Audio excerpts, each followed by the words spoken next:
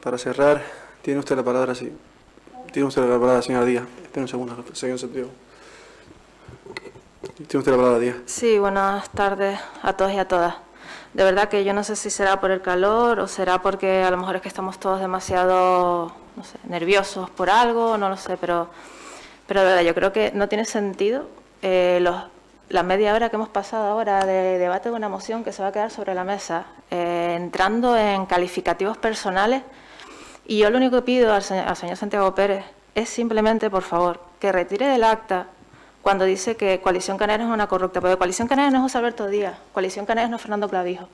Coalición Canaria son muchas personas, muchos afiliados, muchos simpatizantes, muchos concejales, que no tenemos por qué soportar esos calificativos venga de usted, venga de Rubén Ascanio, venga del señor alcalde, venga de nadie, porque yo no opino ni lanzo calificativos sobre los actos que pueda tener pues el presidente de su partido, el de usted, los actos mismos que puedan tener ustedes sobre sus afiliados y sus simpatizantes. Yo creo que es una falta de respeto.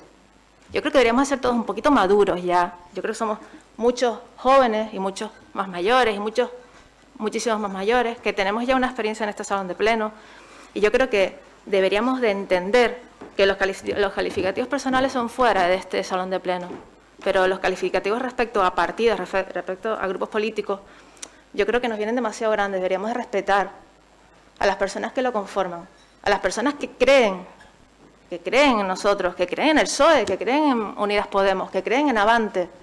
Yo nunca se me ocurriría falta de respeto o pensar que las personas que han votado a Avante o que han votado al señor Santiago Pérez sean X. Yo creo que tenemos que ser un poquito más maduros todos. Si creemos y hablamos tanto de democracia y no, se nos llena la boca de hablar de democracia, pues seamos un poquito demócratas y nos dejemos de lanzarnos piedras, no sobre nosotros, sino las personas que tenemos que nos apoyan. Yo creo que se merece un respeto. Muchas gracias. Muchas gracias, señor Díaz. Tiene usted la palabra, señor Pérez.